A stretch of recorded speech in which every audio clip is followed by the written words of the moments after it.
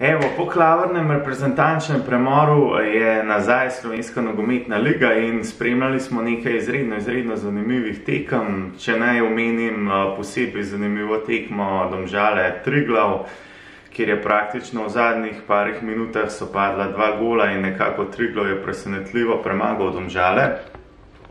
Nekako Domžalam se nekako pozna da preveč menjajo ekipe po vsakem prestopnem roku, kajti njihov glavni vir dohodka so prodaje igralcev in enostavno, če ni te igranosti, če je preveč menjav, nekako težko potem greš na prvaka in nekako si jim to preveč pozna. Maribor izredno solidno igra zadnje čase, tudi nekako všeč mi je njihova, njihovo forsiranje mladih slovenskih igralcev, kot sta recimo Jan Mlakar, Luka Zahovič, Hotič in tako dalje. Tako da Maribor izredno pozitivno in obeta se nam res peklenski boj z Olimpijo. Gremo pa sedaj na Olimpijo. Nov trener Zoran Barešič, moram reči, da sem izredno navdušen nad njim.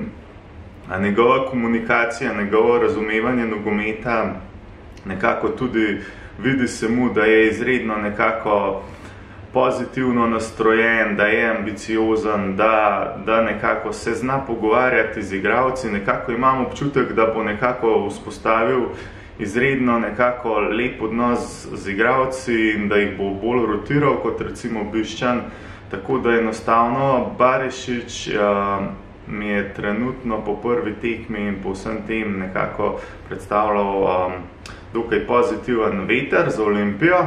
Kar se pa tiče velikega derbija Mura Olimpija, izredno poln štadion, dokaj vroče vreme, majhno igrišče, dokaj razrito in enostavno na majhnem razritem igrišču težko pričakuješ nek, neko lepo igro.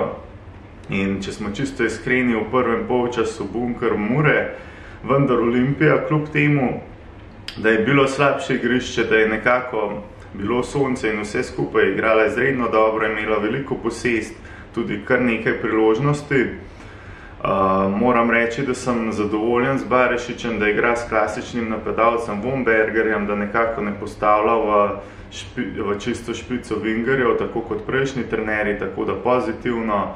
Vidi pa se, da je Krona Veter prišel nazaj v formo, izredno dobro je igral prvi polčas, mislim, da se je potem poškodoval, tako da je izredno navdahnen, dobra igra, dal tudi gol. Se je pa poznalo, da ni bilo Nika Kapuna, kajti Nik Kapun je res ta pravi organizator igre, izredno dobro povezuje igro, se giblje brez žoge, nekako potinčanim, ni na njegovem nivoju, sicer nekaj sem bral, da naj bi kao dobro odigral, jaz nisem bil preveč zadovoljen z njegovo igro, predvsem v napadalnem delu, kjer nekako se preveč skriva pred žogo, nekako igra prepočasi. Enostavno menim, da bo Olimpija morala poskusiti v nadaljevanju igrati skupaj s Kronavitrom in Suličem, nekako sistem 4-3-3 ali kaj podobnega, da dva napadalna vezista igrata posebej proti slabšim ekipam. Bi bilo, mislim, da izredno pozitivno. Uh, kar se tiče ostalih igralcev, Lopeta bo res, da v Olimpiji to prepotrebno moč, kajti vse preveč igralcev pri Olimpiji je fizično sivkejših in manjših, kot so recimo Sulič, Savič, črnic in tako dalje, tako da Hrust kot je Lupeta in recimo Womberger bosta dala tisto potrebno moč, silino.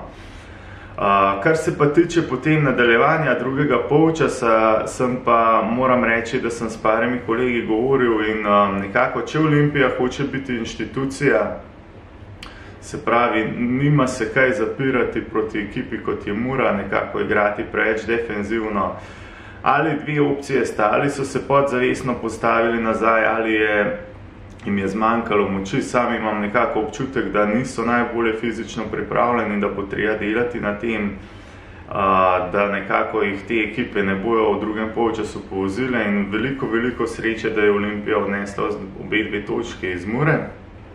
Vendar nekako ta tekma ni še pravi pokazatelj Zorana Barešiča, njegovega stila. Zdaj naslednja tekma doma proti Aluminiju, kjer bo večje, širše igrišče, bomo videli, a, kakšno igro bo gojil, ali se bojo Olimpija po vodstvu svet zaprla, ali se ne bo. Izredno bom razočaran, če bojo po vodstvu zopet se pomaknili nazaj. Upam, da je bila to res muha enodnevnica, da bomo gledali napadalno igro, kot recimo pod Safetom Hadžičem proti Rudarju, ko je bilo 5 proti nič. Tako da upajmo na vse najboljše, upajmo na zanimivo slovensko nogometno ligo in uh, se slišimo po naslednjih tekmah. Hvala.